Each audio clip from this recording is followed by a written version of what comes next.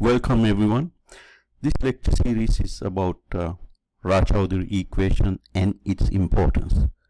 And some people call it Raychaudhuri and um, most Indians call Raychaudhuri. I'm not an Indian so I don't know the exact pronunciation but I go with Raychaudhuri equation.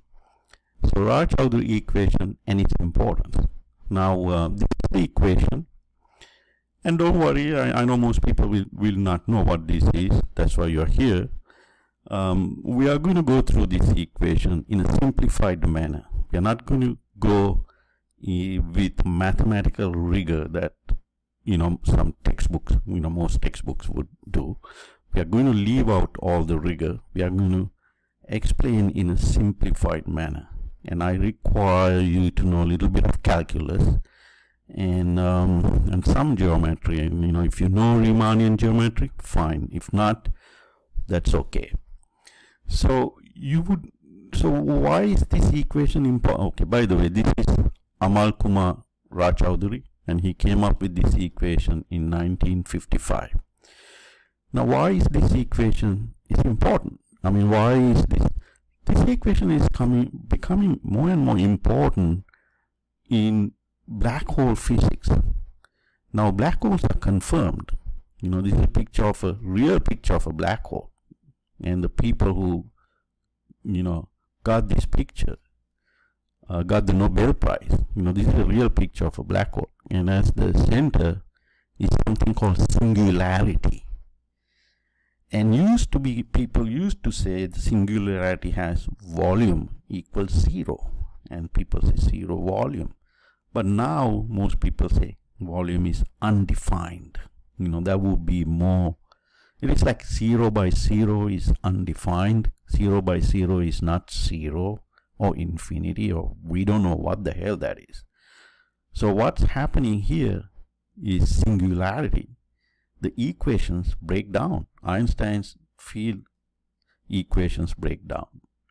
And we don't have any other equations um, you know, working on quantum gravity and all that, but there, there's so singularity is a place where we don't know what the hell is going on. So we want to know.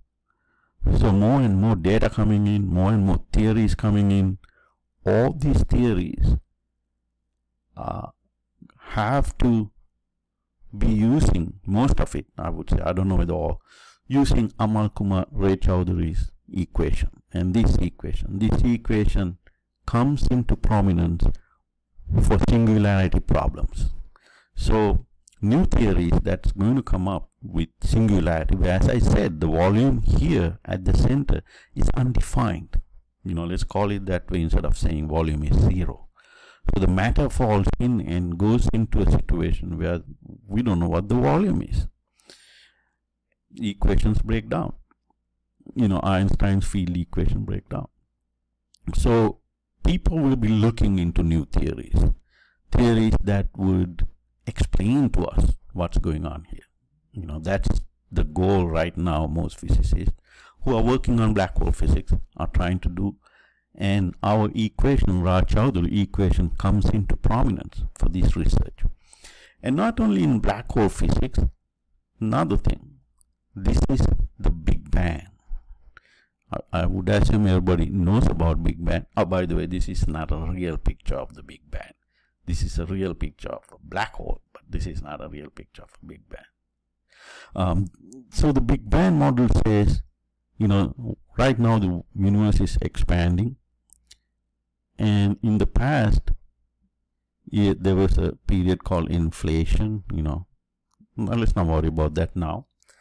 And equations break down. Einstein's equations break down. I think 10 to the minus 32 seconds or something like that here. I think here.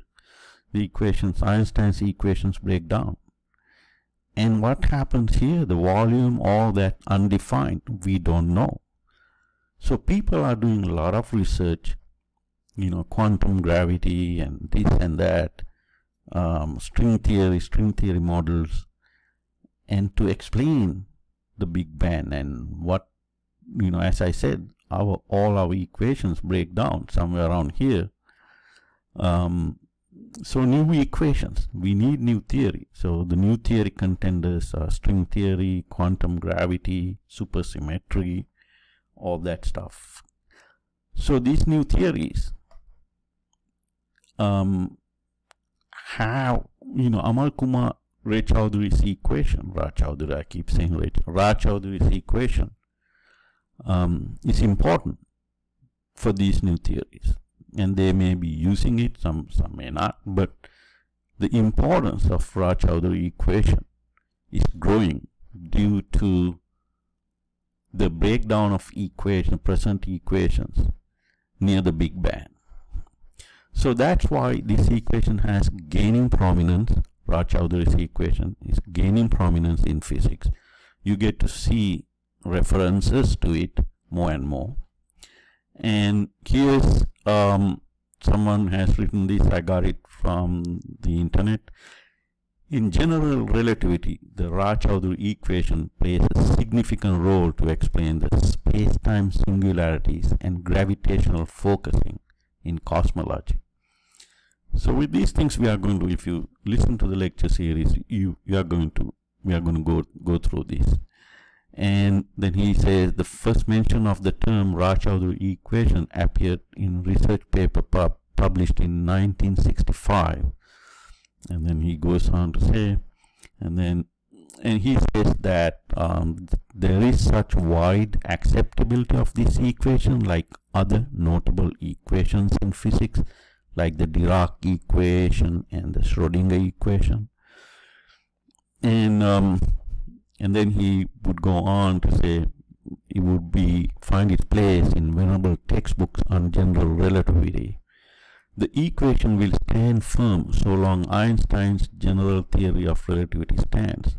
Now this is this this this this statement is totally wrong because the equation was derived in the context of Einstein's general theory of relativity, but it is not. If you listen to my series you would know that this this statement is wrong.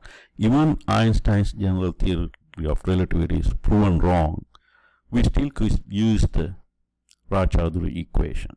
You know you would you would see that if you follow the my series. And it, it's it's been used for fluid mechanics structural analysis which has nothing to do with uh, general theory of relativity.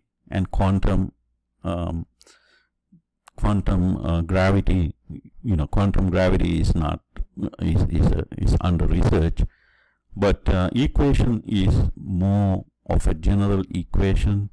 Uh, it was derived in the context of uh, general theory of relativity with the singularity problem in mind, but that has nothing to do with the uh, equation itself. It's more general. It's more ge geometry it's more geometry let's put it that way it's a geometry you know Riemann geometry has nothing to do with general theory of relativity general theory of relativity could be proven wrong but we are the Riemannian geometry going to be around because that's not that's not going to be proven false so similarly Ra-Choudhury equation is geometry. It's a ge geodesic something called geodesic uh, congruence. And these things you will we if you listen to my series you would do uh, understand that. Anyway this is the table of contents. So first we are going to go into general overview of Einstein's field equations. And then we are going to talk about Schwarzschild solution to Einstein's field equations and the singularity problem okay when the Schwarzschild solution came we immediately had the singularity problem. The volume becomes zero or undefined. And then we will talk about Chandrasekhar's limit, that the stars compress and gradually disappear, volume becomes zero or undefined. And then the geodesics, the pathway in a, uh, Einstein's theory of relativity, where the planets and all the matter goes through in a path called geodesics. And in part 5, we will talk about the Ra-Choudhury equation and the pendulum problem. And then we will go into geodesic congruence and then the Raychaudhuri equation in detail with related to cosmology and physics. And then finally we'll talk about the Raychaudhuri equation applications including the singularity problem. So as I said, I'm not expecting a whole lot of uh, knowledge, you know, some little calculus would be enough. Hope you will follow the series. Thank you very much for listening.